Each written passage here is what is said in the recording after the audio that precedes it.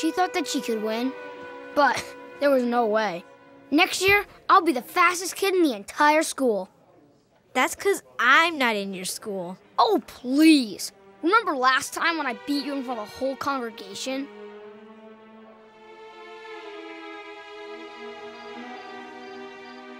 Caleb, do you remember this story? Oh, yeah. That's the Tower of Babel. That's right. Why were these people trying to build this tower?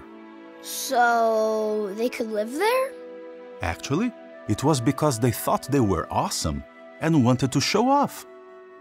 But what did Jehovah think of that? Oh, he didn't like it. That's right.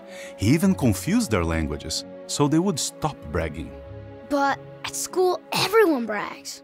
I know. Lots of people brag. I have bragged too. But that's wrong. When we brag or show off, it's like we're building a tower for ourselves, just like the Tower of Babel. If I wanted to, I could set a new world record. No problem. If you say so.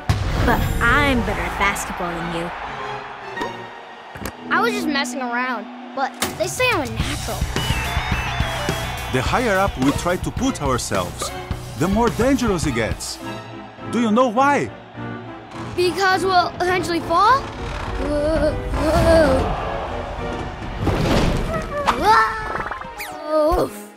Yes. Also, 1 Peter 5 5 means that Jehovah doesn't want us acting like we are better than everyone else. Humble people don't need to brag, because Jehovah will make them feel good about themselves on the inside.